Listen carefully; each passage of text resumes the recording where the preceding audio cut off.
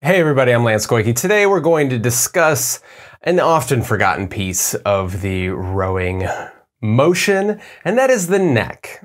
I think people get really focused on their upper body, their shoulder, what their elbows doing, whatever that may be, what kind of muscles in my back am I feeling, and it's really easy to think about all that and totally forget about what your neck is doing.